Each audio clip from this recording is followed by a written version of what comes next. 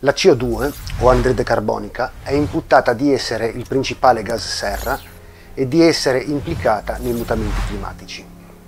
È un problema che può essere affrontato e risolto in diversi modi, in primo luogo producendone meno e in secondo luogo assorbendo quella prodotta in eccesso.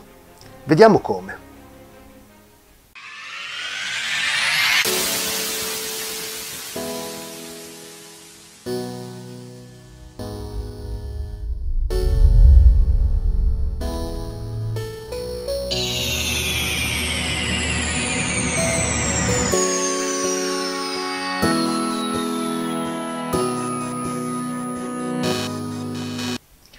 Partiamo dall'origine del problema.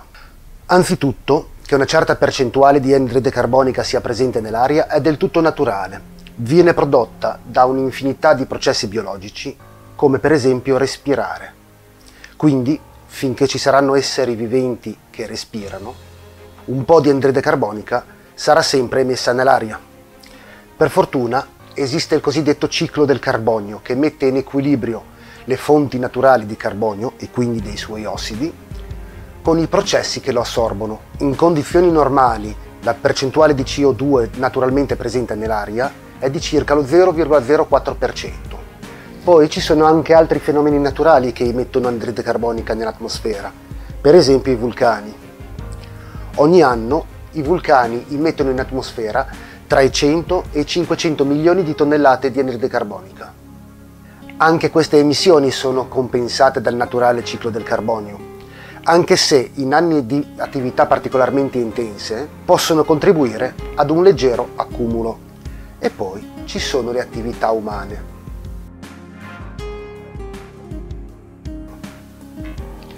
Poi ci sono le attività umane che rilasciano oltre 25 miliardi di tonnellate di CO2 all'anno dalle 50 alle 250 volte i vulcani. Il punto è che mentre non possiamo andare da un vulcano e dirgli di fumare meno perché dà fastidio, lo possiamo fare con le attività umane. In ordine di importanza, le principali fonti di CO2 sono la combustione di, di idrocarburi, la deforestazione e l'allevamento di bestiame. Per quanto riguarda la combustione di idrocarburi, la principale fonte di inquinamento è la produzione di energia elettrica, seguita a ruota dall'industria e dai trasporti. Quindi, da un punto di vista macroeconomico, il maggior impatto lo si avrebbe abbattendo le emissioni dovute alla produzione di energia elettrica. Questo problema si può approcciare in due modi diversi, o producendo energia elettrica da fonti più pulite, o imparando a consumarne meno. Meglio siamo le cose, ma ne parliamo dopo. Abbattere la CO2 prodotta dall'industria è già un problema più complesso. Senza rivoluzionare tutti i processi industriali, cosa che comunque andrebbe fatta nel corso degli anni, sarebbe già però possibile catturare una parte di quella emessa. Ma anche di questo parleremo dopo. Nella parte eh, di CO2 attribuita ai trasporti rientra un po' di tutto dalla logistica delle merci al trasporto personale. Per esempio, negli Stati Uniti circa il 60% delle emissioni di CO2 da parte dei trasporti è da attribuire ad automobili e furgoni, mentre da noi questa percentuale è leggermente più bassa. Chiuso con gli idrocarburi, deforestazione e allevamento. Mentre sulla deforestazione c'è poco da dire, va fermata e basta, di cose che non vanno nell'allevamento ce ne sono così tante che richiederanno un video a parte. Il modo più economico, ecologico e naturale di assorbire CO2 che esiste è quello di far crescere un albero. Ne avevo già parlato in uno dei primi video di questo canale, le piante assorbono la CO2 dall'aria per produrre cellulose e lignina. Va notato però che quando un albero smette di crescere, la sua capacità di assorbire CO2 diventa quasi insignificante, per cui lo si potrebbe abbattere per utilizzarne il legname per qualsiasi scopo che non sia la combustione, come per esempio costruire cose e case. Anche altri organismi sono in grado di fissare la CO2 dell'aria, come certi batteri. Poi la si potrebbe catturare con sistemi artificiali, sfruttando processi fisici o chimici.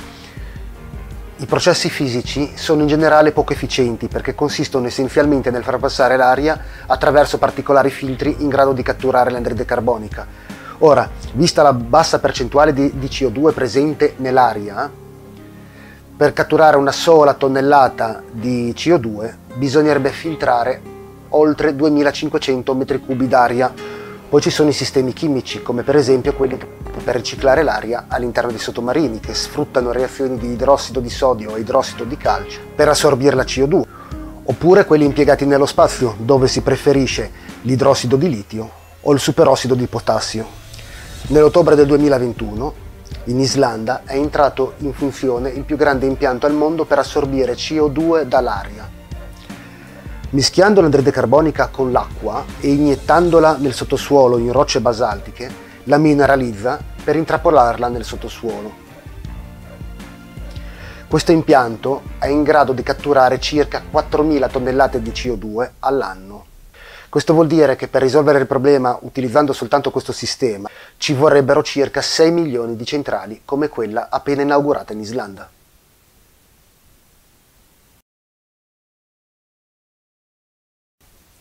E noi, come individui, possiamo fare qualcosa?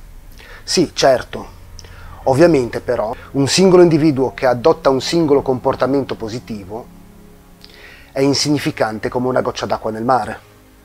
Vediamo comunque quali sono questi comportamenti positivi. Alcuni sono abbastanza ovvi, come per esempio che cercare di consumare meno energia elettrica possibile diminuisce il carico sulle centrali elettriche, oppure che cercare di fare meno chilometri possibili in automobile diminuisce le nostre emissioni dirette.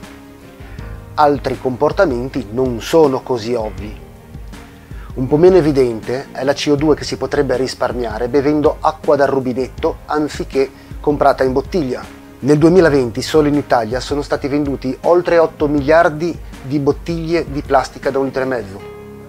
Questo vuol dire oltre 12 milioni di tonnellate d'acqua che sono state spostate con dei camion diverse volte per diversi chilometri.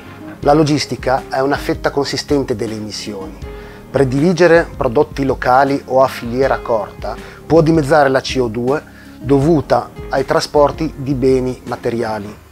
Sui vari metodi che si possono adottare a livello individuale per abbattere la CO2 emessa tornerò in un prossimo video. Resta però il fatto che se queste strategie le adotto io e altre 12 persone non servono a niente. Sono cose che vanno fatte a livello di massa, a livello di società ma ne riparlerò ancora. Alla prossima!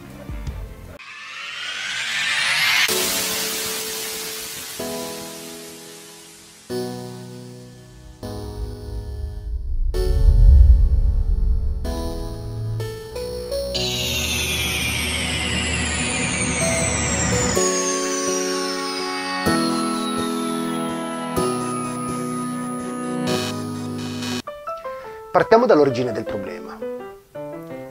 Anzitutto che una certa percentuale di, che una certa percentuale di anidride carbonica sia presente nell'aria è del tutto Anzitutto, che una certa percentuale di anidride carbonica sia presente nell'aria è del tutto naturale. Viene prodotta da un'infinità di processi biologici, come per esempio respirare. Quindi, finché ci saranno esseri viventi che respirano,